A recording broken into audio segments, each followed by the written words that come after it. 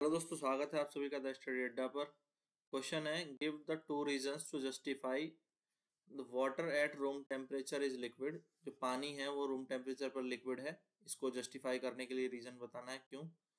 और जो आयरन अलमीरा है, यानी लोहे की जो अलमारी है, वो सॉलिड है रूम टेम्परेचर पे। तो ऐसा क्यों? तो हमें सबसे पहले ये पता होना चाहिए कि मेल्टिंग पॉइंट, जो बॉइलिंग पॉइंट, ये क्या होते हैं?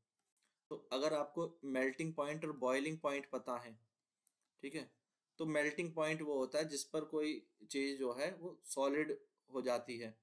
कोई पदार्थ सॉलिड में कन्वर्ट हो जाता है, ठीक है? तो मेल्टिंग पॉइंट अब जैसे वाटर की हम बात करें तो वाटर का मेल्टिंग पॉइंट है ज़ीरो डिग्री सेंटीग्रेड जिस जिस पर वो सॉलिड से लिक्विड ठीक है? मेल्टिंग पॉइंट इसका कितना है? ज़ीरो डिग्री पर वो सॉलिड भी हो जाएगा और ज़ीरो डिग्री पर उसको वो लिक्विड में कन्वर्ट होना स्टार्ट भी स्टार्ट हो जाएगा। ठीक है तो इसका मेल्टिंग पॉइंट है ज़ीरो डिग्री सेंटीग्रेड इससे कम होगा तो वो सॉलिड रहेगा। ठीक है, और ज़ीरो से ऊपर आ जाएँगे तो वो लिक्विड हो जाएगा। ऐसे ही अगर हम उस लिक्विड को बॉइलिंग पॉइंट पे ले जाएँ हंड्रेड डिग्री सेंटीग्रेड पर तो हंड्रेड डिग्री सेंटीग्रेड पर ये वेपर बननी स्टार्ट हो जाएगी तो ये गैस में कन्वर्ट हो जाएगा। ठीक है, अब क्योंकि रूम टेम्परेचर की बात हो रही है तो रूम टेम्परेचर हम मान लेते हैं ट्वेंटी फाइव डिग्री सेंटीग्रेड या थर्टी डिग्री सेंटीग्रेड ठीक है तो 25 डिग्री सेंटीग्रेड मान लो तो उस पर यह क्या होगा? लिक्विड होगा, सिंपल सी बात है।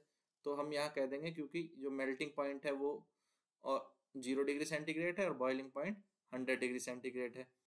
तो इस, ठीक है, फ्रीजिंग पॉइंट या melting point zero degree centigrade है और बॉइलिंग पॉइंट क्या है? वो हंड्रेड डिग्री सेंटीग्रेड है। तो इसका मतलब वाटर जो है रूम टेम्परेचर पे, यानी पच्चीस डिग्री सेंटीग्रेड पर क्या होगा? लिक्विड ही होगा। क्लियर है ये तो?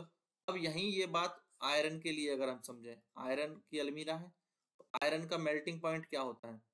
आयरन का melting point approximately 1500 degree centigrade होता है। और बॉइलिंग पॉइंट जो है वो अप्रोक्सीमेटली 3000 3000 डिग्री जो है सेंटीग्रेड होता है। क्योंकि आयरन की अलग अलग क्वालिटी होती है, उसमें थोड़ा बहुत वेरिएशन हो सकता है। तो मैंने लगभग ये मान लिया। तो अब देखो, क्योंकि मेल्टिंग पॉइंट से नीचे अगर कोई भी टेम्परेचर है तो मेल्टिंग पॉइंट से कम मेल्टिंग पॉइंट कितना है यहाँ पर? 1500 डिग्री सेंटीग्रेड। और रूम टेम्परेचर कितना है? रूम टेम्परेचर होता है 25 डिग्री सेंटीग्रेड। तो ये तो काफ़ी कम है ना इससे? तो काफ़ी कम है तो आयरन क्या होगा? सॉलिड होगा। अगर मेल्टिंग पॉइंट से कम कोई टेम्परेचर है, टेम्परेचर अगर मेल्टिंग पॉइंट से कम है तो सॉलिड स्टेट होगी। और अगर टेम्परेचर मेल्टिंग पॉइंट से ज़्यादा है, पर बॉइलिंग पॉइंट से कम है तो लिक्विड स्टेट होगी। और अगर टेम्परेचर बॉइलिंग पॉइंट से भी ज़्यादा है तो गैस की स्टेट होगी, है ना? तो गैस अवस्था पाई जाएगी क्लियर है ना? तो कब कब ऐसा होता है, ठीक है? मैं एक बार दोबारा से लिख देता हूँ, आपको ये क्लियर रहना चाहिए, किसी भी तरह का कोई सवाल आपसे पूछे तो अब ये समझ लो। अगर टेम्परेचर मेल्टिंग पॉइंट से कम है, किसी पदार्थ का जो मेल्टिंग पॉइंट है, उससे कम है तो क्या होगा? वो पदार्थ सॉलिड होगा। और अगर टेम्परेचर मेल्टिंग पॉइंट से तो ज़्यादा है, पदार्थ के मेल्टिंग पॉइंट से, पर उसके बॉइलिंग पॉइंट से कम है। तो उस समय वो पदार्थ लिक्विड होगा, लिक्विड स्टेट में होगा। और अगर टेम्परेचर बॉइलिंग पॉइंट से भी ज़्यादा हो गया तो पदार्थ गैस में होगा, ठीक है? तो ये हमें अगर पता है तो हम आसानी से इस क्वेश्चन को कर सकते थे। तो यहाँ पर वाटर का रूम टेम्परेचर पे बात हो रही है तो 25 डिग्री सेंटीग्रेड मेल्टिंग पॉइंट से ज़्यादा है, और बॉइलिंग पॉइंट से कम है। इसीलिए वाटर क्या है? लिक्विड है। ठीक है? और यहाँ हम बात करें 25 डिग्री सेंटीग्रेड आयरन का मेल्टिंग पॉइंट क्या है? आयरन का मेल्टिंग पॉइंट अभी मैंने बताया 1500 डिग्री सेंटीग्रेड के आसपास होता है और बॉइलिंग पॉइंट 3000 डिग्री सेंटीग्रेड के आसपास होता है। तो क्योंकि यहाँ पर जो है, ये मेल्टिंग पॉइंट से कम है।